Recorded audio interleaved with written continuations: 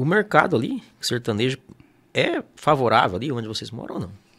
Para o sertanejo? Olha, melhorou muito. É, na verdade, William, o que acontece é até arriscado a gente falar isso, porque você corre o risco de ser mal interpretado. Sim. Né? Mas você vai entender muito bem do que eu estou falando, eu tenho certeza.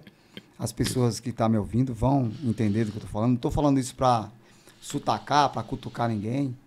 Mas o, o, o sertanejo sofreu um preconceito por parte da mídia muito grande. Você sabe disso. Principalmente o sertanejo raiz. Raiz. Né? Ele sofreu um preconceito gigante. Na, o que aconteceu é o povo gosta, sempre gostou do sertanejo, sempre amou o sertanejo, mas a mídia, não sei por que, fazer questão de esconder isso, né?